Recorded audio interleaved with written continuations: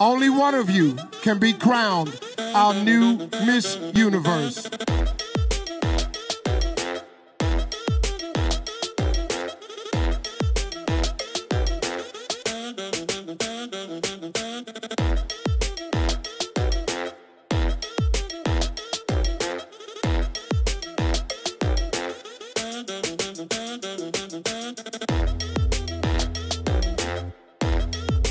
Come out, speak for yourself because you are the leader of your life.